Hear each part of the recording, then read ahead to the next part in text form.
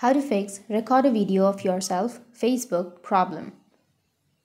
So if you want to fix record a video of yourself Facebook problem, then what you need to do is first make sure that you have a stable internet connection. After having a stable internet connection, you need to update your application. So you need to open up your Play Store at first. And here you need to go with search. Under search, you need to search for Facebook. After searching for Facebook, you can go with update if you have any updates under your face. After updating your problem might be fixed. If that still doesn't fix your problem then you just need simply go back tap and hold on to your facebook go with the app info and here go with storage and cache.